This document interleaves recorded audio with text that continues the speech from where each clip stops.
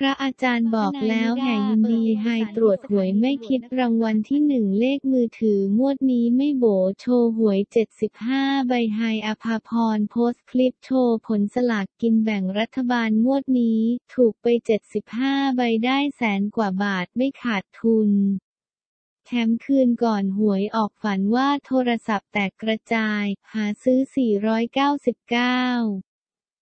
994 ซื้อเต็มเลย แต่ข้างหน้าไม่ใช่ 100 เสียดายมากเลขโทรศัพท์ของตัวเองตัวหลังคือ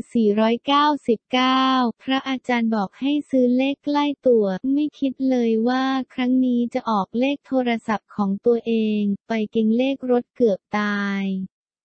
ถ้าเลขรถออกไม่ต้องไปคุยกับใครแล้ว เพราะซื้อไปเป็นพันใบงวดนี้ถูกเลขท้ายได้ 75 ใบก็โอเคแล้ว ขณะที่ชาวเน็ตเข้ามาคอมเมนต์แห่ยินดีด้วย พร้อมบอกถึงความฝันเรื่องโทรศัพท์ว่า ถ้าฝันเกี่ยวกับโทรศัพท์ซื้อเลขท้ายเลยค่ะจะแม่นมากค่ะ จริงคะเคยฝันแฟนเก่าที่เสียไปมาขอเบอร์ออกเลขท้ายเบอร์ตรงตรงๆเรคะ เป็นต้น